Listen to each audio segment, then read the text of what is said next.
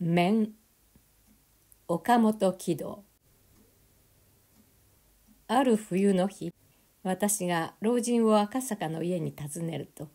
老人は日当たりのいい庭に向かって新聞を読んでいた。その新聞には書顔種の詐欺の記事が掲げてあって京浜はもちろん関西九州方面に渡ってその被害高は数万円に上ったと書いてあった。老人は探索しながら言った。だんだん世の中が進むにつれて万事が大仕掛けになりますね。それを思うと全く昔の悪党は小さなもので今とは比べ物になりません。何しろ十両以上の金高になれば首が飛ぶという時代ですから悪いやつも自然こそこそが多かったんですね。それでもまたその時代相応に悪知恵を巡らすやつがいるので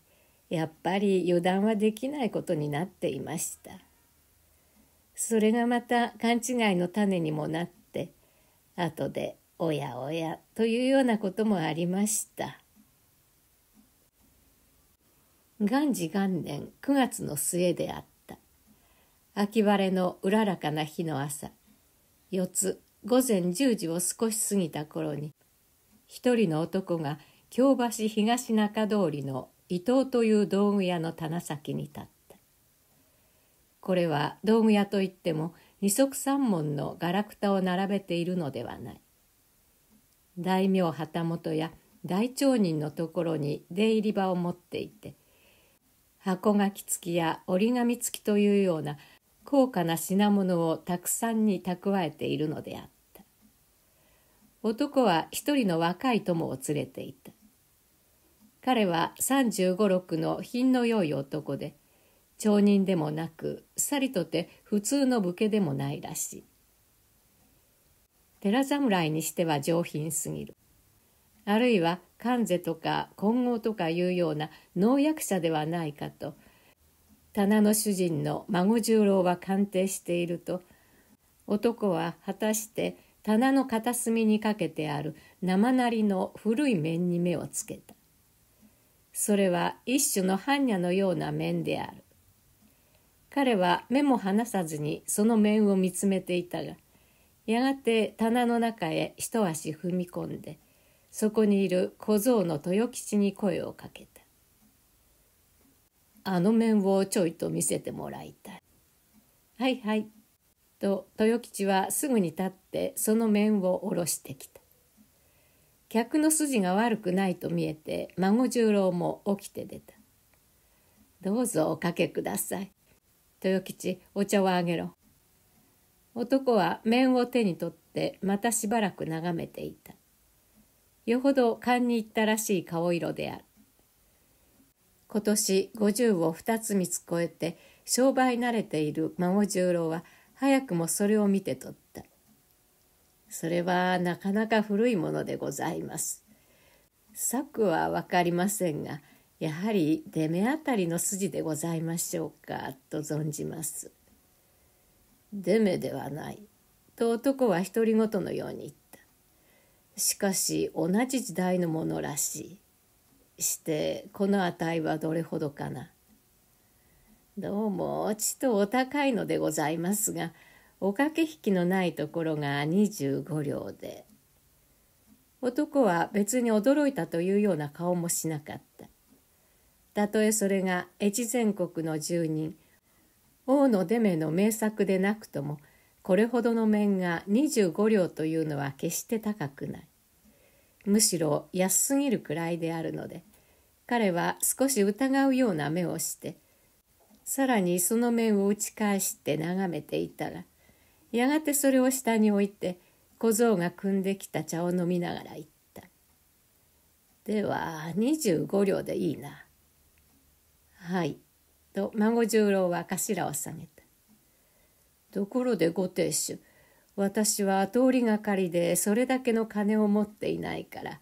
手付けに三両の金を置いていくどうだろうな。それは珍しいことではないので孫十郎はすぐに承知した。約束が決まって男は三両の金を渡したので孫十郎は借受け取りを書いて渡した。帰る時は男は念を押して「それでは明日の今自分に来る。言うまでもないことだが余人に売ってはくれるなよ」売り買いの約束ができてすでに手付の金を受け取った以上もちろん他に売ろうはずはないので孫十郎はその客の後ろ姿を見送るとすぐに豊吉に言いつけてその面を取り外させた。それから一時余りを過ぎて孫十郎が奥で昼飯を食っていると小僧が店から入ってきた。旦那に会いたいと言って立派なお武家が見えました。どなただ？初めてのお方のようでございます。棚へおあげ申してお茶をあげておけ。早々に飯を食ってしまって孫十郎は店へ出ていくと今度の客は羽織袴大将のこしらえで22歳の立派な武士であった。彼は棚へ上がって客火鉢の前に座っていた。私が亭主の孫十郎でございます。お待たせ申しました。挨拶が済むのを待ちかねたように武士は棚の奥へ目をやりながら聞いた。早速だが昨日まであそこにかかっていた生なりの面あれはどうしたな。あれは今朝ほどご予約ができました。武士の顔色はにわかに曇った。ああそれは残念。してその買い手はどこの何という人だ？孫十郎から詳しい話を聞かされて若い武士はいよいよ顔を暗くした。彼はひどく困ったようにしばらく考えていたがやがて小声で言い出した。近頃無理な相談ではあるがどうであろう？その買い手の方を何とか破談にしてくれるわけにはいくまいか。そうでございますなと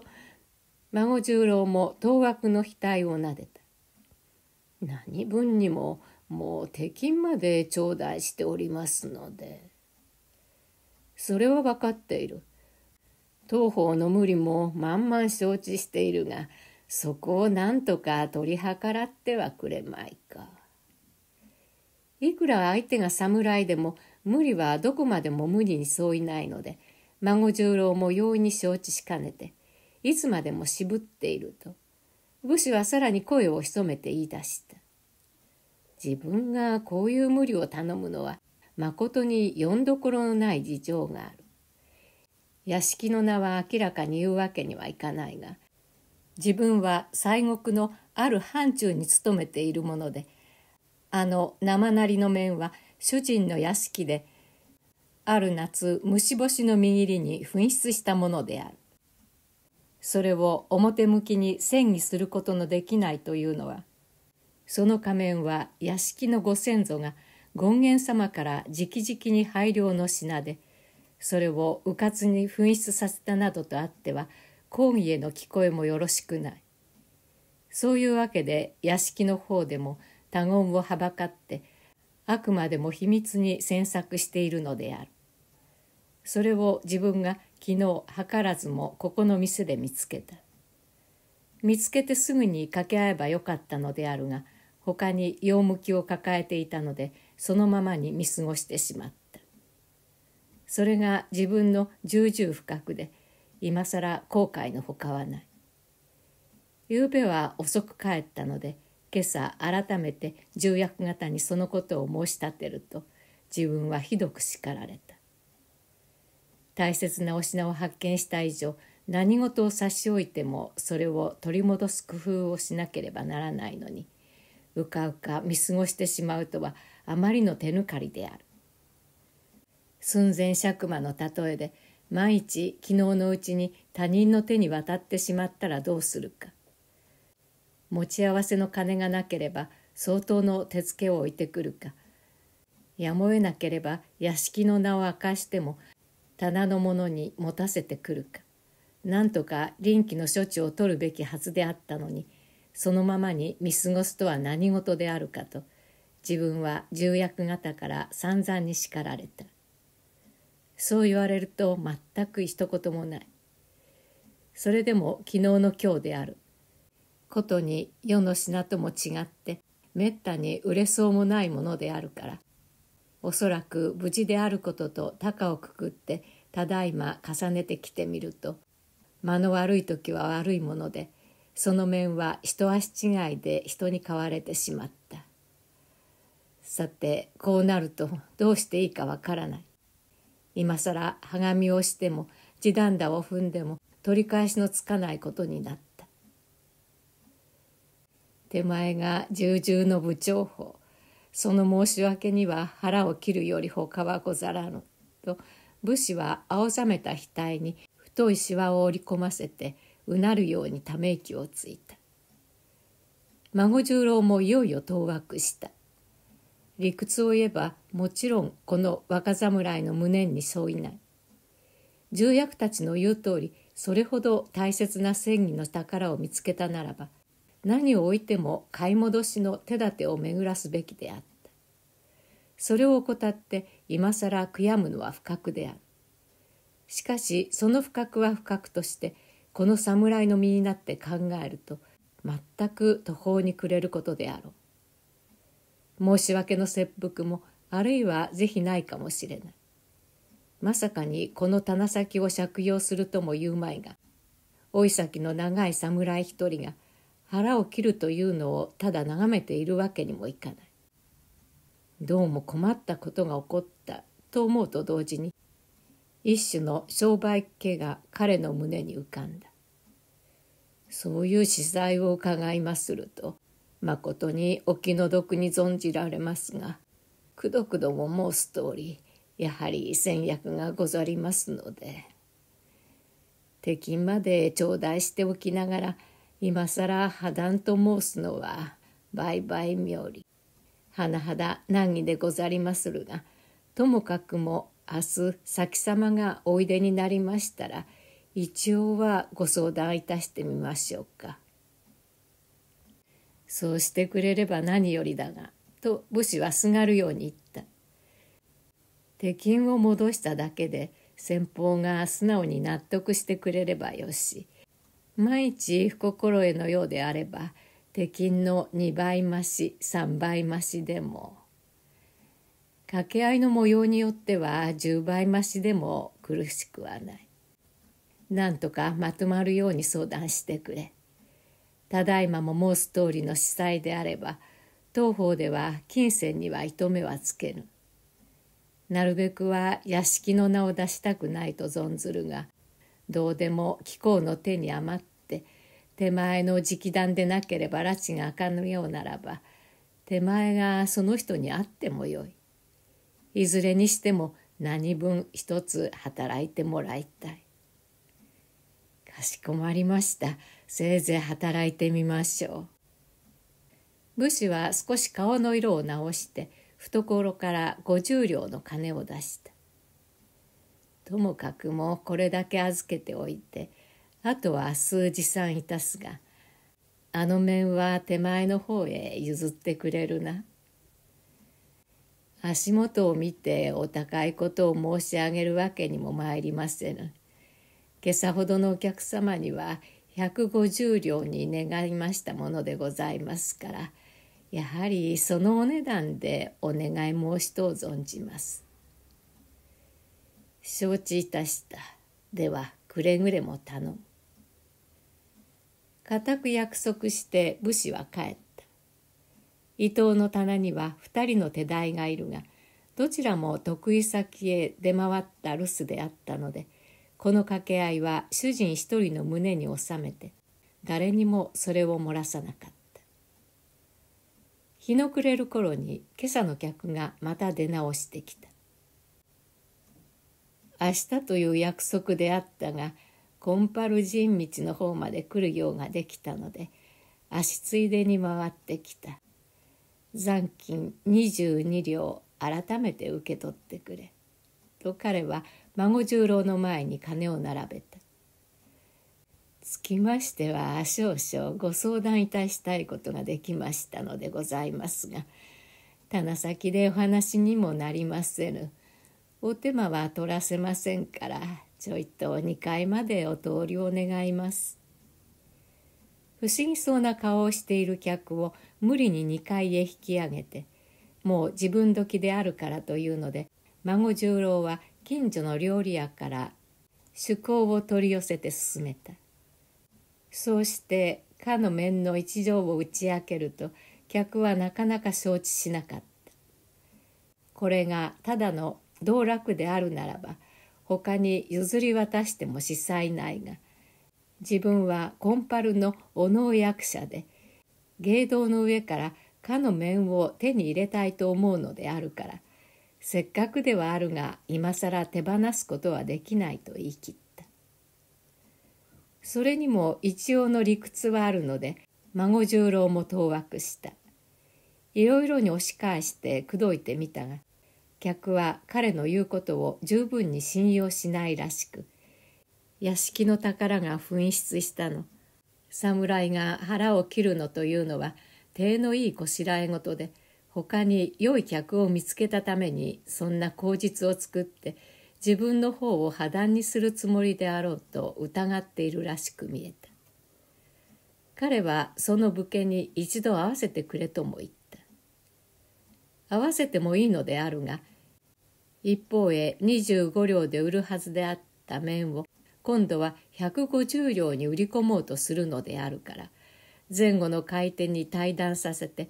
万一その秘密が発覚しては妙でないと思うので。孫十郎はなるべく両方を突き合わせたくなかった。彼は強いてその客に酒を勧めてだんだんに酔いの回るのを待ってさらにいろいろ口説き落としてとうとう敵金の行く倍増しで破談というところまでこぎつけた。それは孫十郎も最初から覚悟していたのであるが客は手付金3両の2倍や3倍では効かなかった。これを破談にする以上はどうしても100両よこせと言い出した。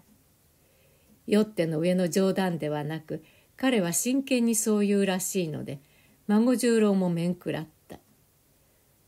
もちろんその言うがままに百両の薬金を出してもかの武士からは50両の金を受け取っている。その上にかの面を150両に売り込めば差し引き100両の儲けは見られる。この農薬者に売ったのでは丸取りにしても25両にしかならない。そこらの胸残用をしてかかるとたとえ法外の薬金を取られても破談にした方が大きな得であると例の商売家が勝負を占めて孫十郎はさらに根気よく押し問答の末に75両というところで相談がようやく折り合った。武士から受け取った50両と農薬者から受け取った3両とそれに孫十郎の懐から出た22両の金を加えて相手の目の前に並べると彼はまだ不承知を言った。この中の3両はもともと自分のものであるからそれを除いて別に75両の金をもらいたいというのである。この場合2両や3両の金を惜しんでもいられないので孫十郎はまず3両の手付金を返してさらにかの50両に25両を添えて出すと相手は初めて納得した。彼は振る舞い酒をしたたかに飲んで一層心持ちそうに帰った。いまいましいやつだ。農薬者の道楽者には太刀のよくないのがあって困る。と孫十郎は腹の中で罵った。そうは言っても悪くない商いである。一旦は損をしたようでも差し引き125両の儲けを見ることになるので孫十郎はやはり俺の運が向いてきたのだと密かに微笑んでいるとそのあくる日になってもかの武士は姿を見せなかった2日3日4日と待ち暮らしても彼からは何の頼りもなかったまさかに腹を切ったわけでもあるまい。彼が切腹したとしてもかの面がここの店にあることを知っている以上誰かが代わって取りに来るはずである。孫十郎は首を長くして毎日待ちわびていたがどこからもそれらしい人は来なかった。もしや棚の名を忘れたのではあるまいかと。孫十郎は再びかの面を取り出して店先の最も見やすいところにかけておいたがそれに引き寄せられてくるものはなかった。10日を過ぎ半月を過ぎて孫十郎はまた罵った「畜生一杯食わせやがった」前の農薬者と武士とは同類であらかじめ申し合わせてこの狂言を書いたのであろう。生地に商売気を出したのとかの武士の集団に同情したのとで自分は25両という金をやみやみ語り取られたのである。こう気がつくと孫十郎は白髪が一本ずつ逆立つように悔しがって怒ったが今更どうすることもできなかった。ことにこの事件は最初から自分一人で応対したのであるから誰を責めるわけにもいかなかった。商売の煩いと一旦は諦めても彼はやはり諦めきれなかった。彼はその後幾日か考え詰めた末に神田の半七のところへ駆け込んだ。何？その罪人はすぐに知れましたよ。と半七老人は言った。しかし少々勘違いであったのは前の農薬者と後の若侍と何にも関わりのないことでした。誰が考えてもこの二人は慣れ合いだと思われましょう。現に伊藤の主人も一実にそう思い込んでいましたし私もまずそうだろうと鑑定していました。ところが大違いだからおかしい。農薬者の方はコンパルの弟の重次郎という男で始末に負えない道楽者ではあるが商売柄だけはさすがに目が利いているので上作の面を見つけ出してある大名屋敷へ売り込んで大金儲けをしようと思った。ところがその目算が外れて売り主の方から破談を言い出された。その事情を聞いてみるとどうしても嫌だとも言えない。さりとてせっかくの金儲けを水にしてしまうのも惜しい。そこで伊藤の亭主の足元へつけ込んで百両よこせなどと大きくふっかけてとうとう75両を巻き上げていったというわけで別にゆすりとか語りとかいう悪名を聞かせることもできないのです。それから一方の侍は何者かというとこれも偽名ではなく全く西国の範疇の根井朝五郎という人で正直に面を探しに来たのです。しかし前にも言った通り年の若い手抜かりから重役たちにまず叱られそれからすぐに出てくると面はもう人手に渡っているという始末。ともかくも一方の破綻を頼んでおいて屋敷へ帰って報告をすると「それだから言わぬことか」お手前重々の無念であると言って重役たちからまたもやってひどく叱られたので朝ごろもいよいよ恐縮してしまったのです。そこでその翌日150両の金を受け取って屋敷から伊藤の棚へ行く途中でそこが若い人間ふっと気が変わった。というのはたとえその仮面を無事に取り戻してきたとしても一度ならず二度までも重役たちに厳しく叱られている以上何かの咎めを受けるかもしれない。あるいは国詰めを言いつけられて半地へ追い返されるかもしれない。そんなわけで半地へ帰れば親類には面目ない友達には笑われる。一層この150両を持ってって蓄電してしまった方がましかもしれないと途中でいろいろ考えた挙句に。とうとう伊藤へも行かず。もちろん屋敷へも帰らず。そのまま姿を隠してしまったのです。若いとは言いながら無分別。自分から求めて日陰者になってその足で京都へ登ってしるべの人を頼ってなんとか身の振り方をつけるつもりであったのだそうだがやっぱり江戸に未練があって神奈川からまた引き返してきて目白の財に隠れていたところを訳もなしに召し取られました。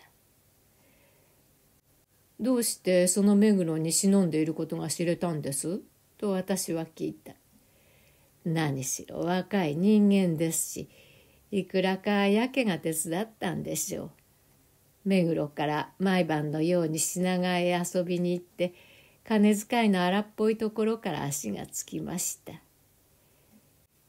屋敷物なんぞがちっと洗い銭を使えばすぐに目をつけられますよ。